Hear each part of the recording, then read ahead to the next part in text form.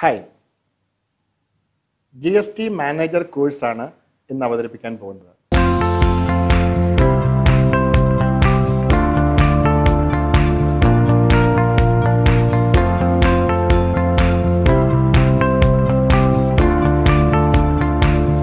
എന്താണ് G S T manager എന്ന് പറയുന്നത്? ജി എസ് ടി പലരും പഠിച്ചിട്ടുണ്ട്. ജി എസ് ടിയെ കുറിച്ചിട്ടുള്ള നോളജും പലർക്കും ഉണ്ട്.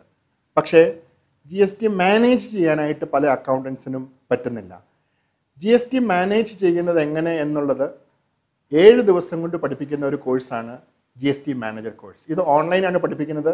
It is a live interactive program ഈ കോഴ്സിനകത്ത് സൺഡേ മുതൽ സാറ്റർഡേ വരെ എല്ലാ ദിവസവും six thirty to seven thirty one hour നമ്മൾ ഒരുമിച്ചിരുന്ന് പഠിക്കുന്നു ഒരുമിച്ച് ഡിസ്കസ് ചെയ്യുന്നു ജി എസ് ടിയെ കുറിച്ച്.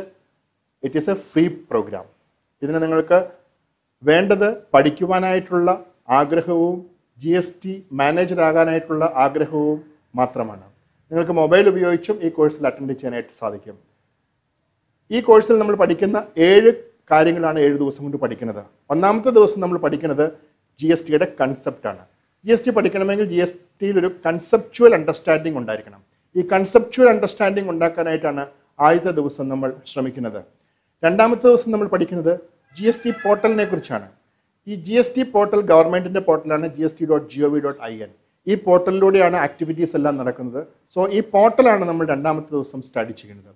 The third day we study about G S T taxes G S ടിയിൽ സി ജി എസ് ടി ഉണ്ട് എസ് ജി എസ് ടി ഉണ്ട് ഐ ജി എസ് ടി ഉണ്ട് U T G S T ഉണ്ട്. Then ഇപ്പോൾ കേരള ഫ്ലെക്സസും ഉണ്ട്. So ഈ ടാക്സസും സെസ്സും ഒക്കെയാണ് നമ്മൾ ഈ ദിവസം ഇരുന്ന് പഠിക്കുന്നത്. അത് കഴിഞ്ഞു കഴിഞ്ഞാൽ അടുത്ത ദിവസം നമ്മൾ പഠിക്കുന്നത് ഇൻപുട്ട് ടാക്സ് ക്രെഡിറ്റ് ആണ്. ജി എസ് ടിയിലെ ഇൻപുട്ട് ടാക്സ് ക്രെഡിറ്റ് അതായത് നമ്മൾ ഇൻവേറ്റ് പർച്ചേസ് ചെയ്യുന്ന സമയത്ത് ഇൻവേറ്റ് സപ്ലൈ നടക്കുന്ന സമയത്ത് നമ്മൾക്ക് കിട്ടുന്ന ടാക്സിൽ ക്രെഡിറ്റ് കിട്ടുന്ന ഐറ്റംസും ഉണ്ട് കിട്ടാത്ത ഐറ്റംസും ഉണ്ട്. അപ്പോൾ ആ ക്രെഡിറ്റ് കിട്ടുന്നതിനെക്കുറിച്ചും അതെങ്ങനെ യൂട്ടിലൈസ് ചെയ്യണം എന്നുള്ളതിനെക്കുറിച്ചുമൊക്കെയാണ് നമ്മൾ ഈ ദിവസം ഇരുന്ന് പഠിക്കുന്നത്. The next day we study about accounting G S T പഠിച്ചെങ്കിൽ മാത്രമേ ഇപ്പോൾ ഒരു അക്കൗണ്ടന്റിന് അക്കൗണ്ടിങ് വർക്ക് ചെയ്യാനായിട്ട് പറ്റുകയുള്ളൂ. സോ അക്കൗണ്ടന്റ് ആകാനാണ് ആഗ്രഹിക്കുന്നതെങ്കിൽ ജി എസ് ടിയിൽ ഉള്ള നോളജും ആവശ്യമാണ്. സോ ജി എസ് ടിയും അക്കൗണ്ടിങ്ങും അറിയാവുന്ന ഒരാൾക്ക് മാത്രമേ ഇനി മുതൽ അക്കൗണ്ടന്റ് ആയിട്ടുള്ള ജോലി ചെയ്യാനായിട്ട് പറ്റുകയുള്ളൂ എന്നുള്ളതുകൊണ്ട് എങ്ങനെയാണ് ജി എസ് ടി വന്നപ്പോൾ അക്കൗണ്ടിങ് ചെയ്യുന്നത് എന്നുള്ളതായിരിക്കും നമ്മൾ ഒരു ദിവസം ഒരു മണിക്കൂർ ഇരുന്ന് പഠിക്കുന്നത്.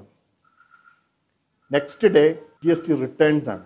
G S T returns various returns ഉണ്ട്. മന്ത്ലി റിട്ടേൺസ് ഉണ്ട് ക്വാർട്ടർലി റിട്ടേൺസ് ഉണ്ട്. അനുവൽ റിട്ടേൺസ് ഉണ്ട്. So various returns G S ടിയിലുണ്ട് ആ റിട്ടേൺസ് റിട്ടേൺ ബേസ്ഡ് ടാക്സേഷൻ സിസ്റ്റമാണ് ജി എസ് ടി എന്ന് പറയുന്നത്. അതുകൊണ്ട് എങ്ങനെയാണ് ജി എസ് ടിയുടെ റിട്ടേൺസ് അതിന്റെ ഫയലിംഗ് എങ്ങനെയാണ് ഇങ്ങനെയുള്ള കാര്യങ്ങളൊക്കെ ആയിരിക്കും നമ്മൾ ഒരു ദിവസം ഇരുന്ന് പഠിക്കുന്നത്. The next day we study about the latest developments in G S T recent developments in G S T നമ്മൾ അറിഞ്ഞിരിക്കണം.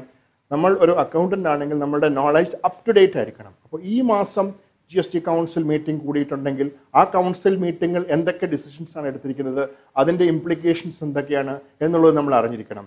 So recent developments in G S T ആയിരിക്കും നമ്മൾ സെവൻത് ഡേയിൽ നിന്ന് പഠിക്കുന്നത്. ഒരാഴ്ച കൊണ്ട് ഒരു ജേണി ജി എസ് ടിയുടെ ജേണി ഒരു ബിഗിനർക്ക് നടത്താനായിട്ടുള്ള ഓപ്പർച്യൂണിറ്റിയാണിത് ജി എസ് ടിയെക്കുറിച്ച് നിങ്ങൾക്കൊന്നും അറിയില്ലെങ്കിലും സീറോ ലെവലിലാണെങ്കിലും നമുക്ക് ഏഴ് ദിവസം കൊണ്ട് വളരെ ഇഫക്റ്റീവായിട്ട് പഠിക്കാൻ സാധിക്കും. അതാണ് ഈ സ്റ്റുഡൻസ് ഇ ലേണിംഗ് പ്രോഗ്രാമിന്റെ പ്രത്യേകത welcome to G manager course